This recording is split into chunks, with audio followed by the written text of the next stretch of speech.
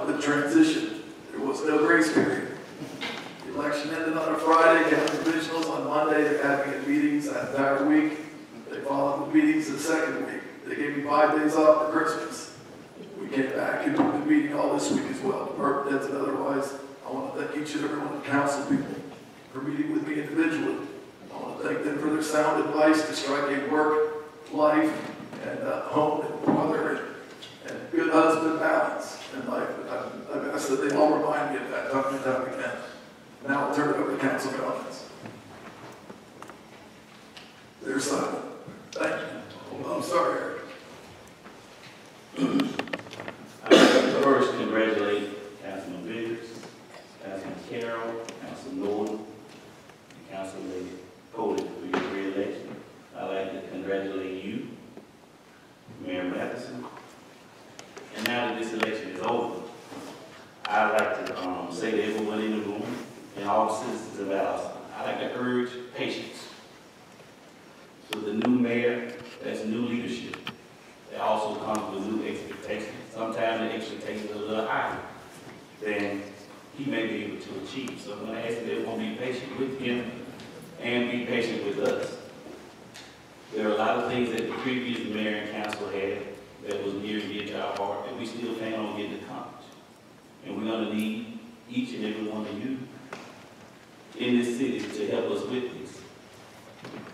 There are boards and authorities that everyone can participate on if you choose to. But what we do ask is that as we continue to move forward with the city's business, if you're gonna be a part of the team, we ask that you get on.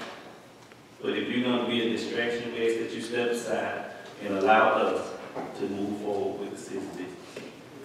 So with that being said, I still wanna urge everyone to be patient of this new transition for you. It's gonna be kind of tough. I'm in a hurry. But we're gonna get it done. Eric, thank you very much.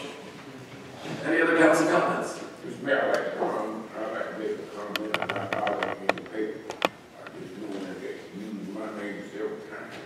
Uh, I thought it was commended, commended for, for us to, to meet and have some, some conversation. I really thought that was just, uh, uh, the beginning. I didn't have no good idea that, that out of that meeting, thought that's what we was going to come over here and approve, but I do think that, that, that was a start that we, that we can build off of. I, I I completely agree. He's talking about the service delivery strategy agreement and the ongoing negotiations between the city and the county. And everybody sitting out there could be very proud. I personally held seven, eight meetings with our county commission. Every one of these, every one of these council people have done it individually and as a group as well. Um, A legal group as well, and it is moving forward. Be, be, get excited about the, the the movement and- and the motion and the vote that the county commission took, and good faith sent back to us too, and Mark, and the rest of us are working on, so thank you, Sonny, very much. Well said. Any other comments? I would like all our councilmen to stand and let's applaud, especially my guests that came, and for all the friends that came to support me. I want to say thank you.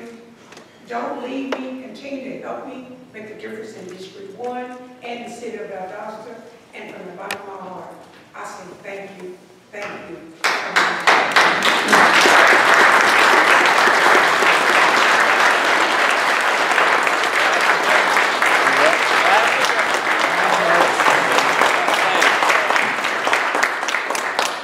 Next, I will entertain a motion to adjourn. Say aye. We'll see you. Thank you for your.